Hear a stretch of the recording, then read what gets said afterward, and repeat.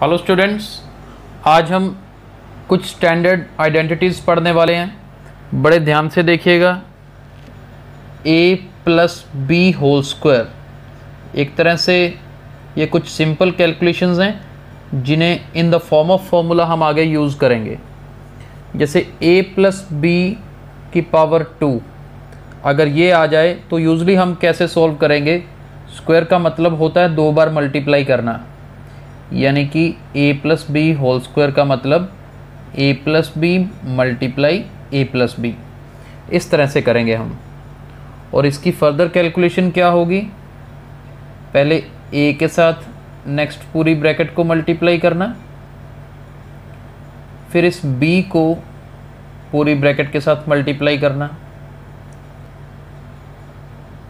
A multiplied with A square A with B A B B with A B A और A B ए की बात है।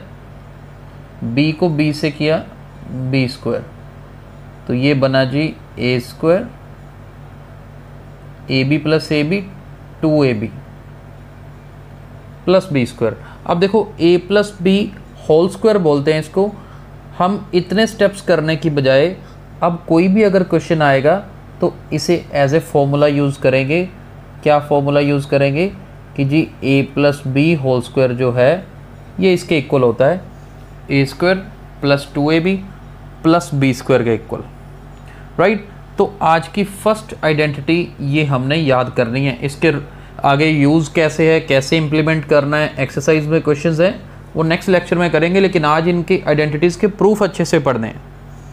एक तो हो गया A plus B whole square अब एक सेकंड करने वाले हैं A minus B whole square अब ये कैसे होगा? बिल्कुल same A minus B multiply A minus B पहले इस ए के साथ नेक्स्ट ब्रैकेट फिर माइनस बी के साथ next bracket A minus B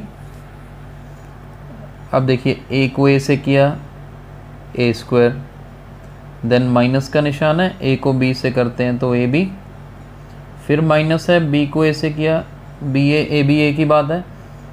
last में देखो माइनस माइनस प्लस हो जाएगा बी को बी से किया बी स्क्वायर तो finally we will get A square minus A B minus A B क्या बनेगा जी? Minus two A B last में प्लस का बी स्क्वायर यानी कि अब देखो नेक्स्ट फॉर्मूला आज का A minus B whole square is equal to A square minus two A B plus B square difference क्या है? यहाँ पे प्लस था तो ये सेंटर में प्लस था, यहाँ माइनस है तो सेंटर में माइनस है। चलिए थर्ड आइडेंटिटी पे चलते हैं। टोटल फोर आइडेंटिटीज करेंगे। नेक्स्ट पूरी एक्सरसाइज में वही यूज़ होने वाली हैं। तो चलिए ध्यान से देखिए थर्ड वन तीसरे नंबर पे है अगर हमारे पास a प्लस बी और a माइनस बी की मल्टीप्लिकेशन आ जाए तो इसका आंसर क्या होगा? चलिए सॉल्व करके देखते हैं। A को आगे वाली ब्रैकेट के साथ मल्टीप्लाई करें। Then b multiplied with next bracket a को a से किया ए स्क्वायर a को माइनस बी से किया माइनस ए बी बी को ए से किया प्लस का ए बी, फिर बी को बी से करते हैं तो बी स्क्वायर होता है तो माइनस बी स्क्वायर। अब देखिए ये प्लस ए बी, ये माइनस ए बी, ये तो कट गया आपस में। तो एक बचा ए स्क्वायर, लास्ट में माइनस बी स्क्वायर। तो हमारा फॉर्मूला हम क्या याद रखेंगे जी? A plus B, A minus B किसके इक्वल होता है? A square minus B square के। ठीक है जी? या इसका उल्टा भी कई बार अप्लाई करना पड़ जाएगा। A square minus B square is equal to A plus B A minus B so, this is our third formula and coming to last fourth. X plus a into x plus b. चलिए इसको भी solve करके देखना। देखो solve तो same method से होगा। X के साथ नेक्स्ट ब्रैकेट को, फिर ए के साथ नेक्स्ट ब्रैकेट को। क्या बना x into X X square X को b से किया बी एक्स ए को x से किया ए एक्स फिर a को b से किया ए बी ये देखो X square as it is इन दोनों में से x कॉमन आ रहा है जी। X कॉमन निकाला तो ये बच गया यहाँ पर b और यहाँ पर a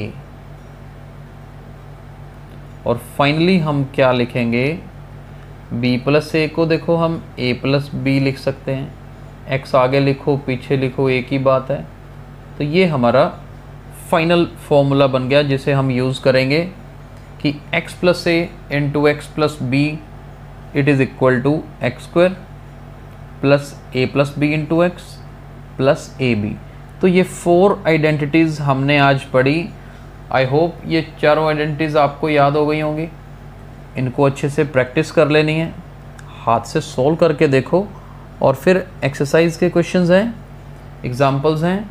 हम इनको अपने अगले लेक्चर्स में कवर करेंगे. और बहुत अच्छे से समझ आएगा. लास्ट एक्सरसाइज रह गई है. Okay thank you so much